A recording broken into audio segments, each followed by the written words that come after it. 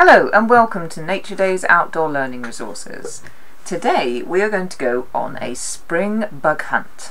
Now we're just going to focus on the mini beasts that are around in the springtime and not for very long, like this little chap here. Now this is a boy St. Mark's fly. See he's just done a poo?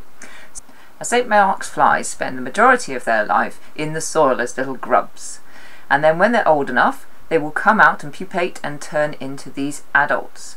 Now this one comes out at St Mark's Day or close to St Mark's Day which is the 25th of April and they only come out as an adult for pretty much a week. So during that week they're very very easy to spot but they're very busy. They're not the best flyers and they land on anything which can be you or plants or trees or leaves and they're trying to mate. So what they're trying to do is to find a female and the female look very similar apart from they don't have such big bulbous heads and big bulbous eyes. And when they find their female, then they will mate and then they will both die once the female has laid her eggs back in the soil. So just a week you've got to see them. So look out for them flying because they're really obvious with their dangly legs and they're not very good at flying at all.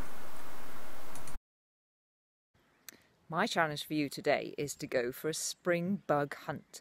So have a look and see if you can see any of those big, they're about that big, very shiny black St. Mark's flies and their back legs dangle down quite obviously.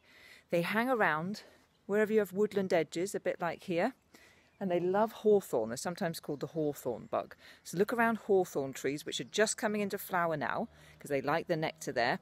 And if you see one, because they're so slow and they tend to hang around a lot, see if you can draw a picture of one.